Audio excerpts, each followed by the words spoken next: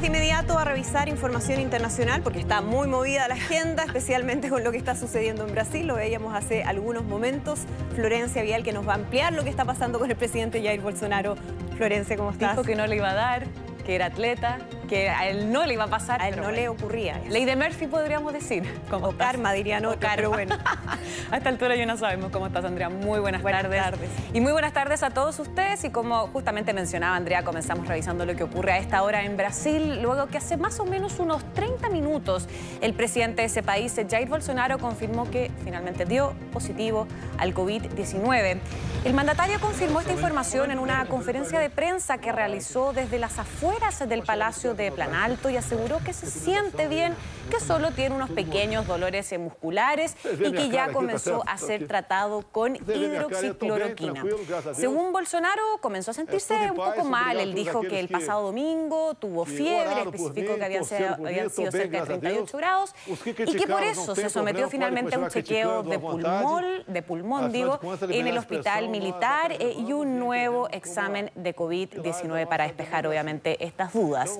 Ahora, eh, esta es la cuarta vez que Bolsonaro se somete a un test de COVID-19, considerando la edad que tiene. Hay que recordar que el presidente de Brasil tiene 65 años y de hecho la primera ocasión que se realizó que este examen fue después de su gira oficial a Estados Unidos, recordemos, tras la cual al menos 23 personas de su comitiva presentaron síntomas y dieron positivo. Ya se había salvado en ese momento. Él se había salvado, obviamente, que a él no le iba a tocar. De hecho, tenemos las declaraciones del presidente de Brasil que realizó hace más o menos eh, una hora en la capital de Brasil. Escuchemos y luego seguimos con este tema. Les confieso que estoy perfectamente bien. Obviamente estoy tomando las medidas protocolares para evitar contagiar a terceras personas, que son los cuidados que deben tomar todos los ciudadanos brasileños, un ciudadano común o el presidente de la República. Me llegó más o menos hace una hora atrás y decidimos contarlo para dilucidar cualquier duda de lo que pasa conmigo. No tocante ao que aconteceu comigo. ¿Te sorprendió el resultado? No, confieso que lo esperaba hace tiempo por el dinamismo de mis actividades con la población. Y le digo algo más, yo soy el presidente de la República, estoy al frente del combate y no fue mi responsabilidad de estar cerca del pueblo. Nem me afasto do povo, gosto de estar no meio do povo. Eu confesso a vocês, si no feito exame, tivesse tomado... Les confieso que si no hubiera tomado hidroxicloroquina de manera preventiva, yo no estaría hablando acá y podría estar contaminando gente. Esa fue mi preocupación por hacerme el examen para evitar contagiar a terceros.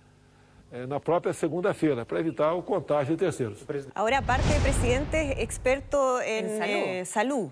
Claro, porque él dice, pese a que la FDA, que es la Federación eh, Médica de Estados Unidos, eh, no recomienda eh, la utilización, el consumo de hidroxicloroquina ni hidro, hidroclina, no, cloroquina, cloroquina. porque finalmente no está comprobado su efectividad e incluso puede ser aún más riesgoso para personas que presentan tipo, algún tipo de enfermedad. Bueno, el presidente Bolsonaro asegura que estaba tomando ya este fármaco y que lo empezó a utilizar de nuevo. Justamente esta mañana, algo que también ha hecho por, por cierto el presidente de Estados Unidos, Donald Trump. Sí, pues él fue el primero en recomendarlo y bueno, eh, es su eh, imitador en muchas cosas. Ahora, dice que está tomando todas las medidas de precaución del caso y parte dando una conferencia de prensa cuando debiera estar en cuarentena. Debería estar en cuarentena, de hecho, dijo que se va a mantener en su casa, que va a intentar hacer la cuarentena porque dice que no se puede mantener parado mucho rato quieto, que las va a hacer por videollamado además. Pero un momento, Andrea, que llamó sumamente la atención durante esta mañana fue que se volvió a sacar la mascarilla. De hecho, veamos el video acá en nuestra pantalla. Es el momento exacto en que, una vez más, hay que decirlo, el presidente de Brasil, Jair Bolsonaro, pese a que acaba de confirmar de que está positivo con el virus, se vuelve a sacar la mascarilla. Él dice, bueno, tengo acá a los periodistas eh, a dos metros de distancia, pero uno entiende que con dos metros de distancia la OMS ayer eh, pidieron seguir investigando de que el COVID se puede, puede permanecer en el aire, por lo tanto dos metros claramente no sería la solución ni la prevención eh, más segura justamente para no contagiar a más personas. Se saca la mascarilla y sigue hablando que es algo que no se entiende. ¿Por, qué, claro. ¿Qué sigue hablando? Es completamente un gesto de, desafío, la verdad, yo creo, porque hay que recordar que estamos hablando del presidente que se ha mostrado más escéptico, podríamos decir, de todos los líderes mundiales junto a Donald Trump y junto a en su inicio a Boris Johnson, que también fue positivo, em, y él nunca creyó mucho el tema de los riesgos que finalmente puede generar la, e, este coronavirus. Y en ese momento, de hecho, el mandatario intentó, em, cuando recordemos, se hizo el primer examen, que fue cuando después de haber regresado a Estados Unidos, él intentó mantener en reserva los resultados de los exámenes a los que se había sometido pero un fallo del Tribunal Supremo finalmente le ordenó hacerlos públicos y con eso se comprobó que en los tres exámenes principales que se había realizado el presidente eh, Jair Bolsonaro dieron negativo, pero parece que la cuarta es la vencida, sobre todo eh, con las personas más escépticas. Razón por la que además en paralelo, eh, durante toda esta mañana, la verdad que ha sido la noticia internacional del día, Muchos medios locales, medios brasileños,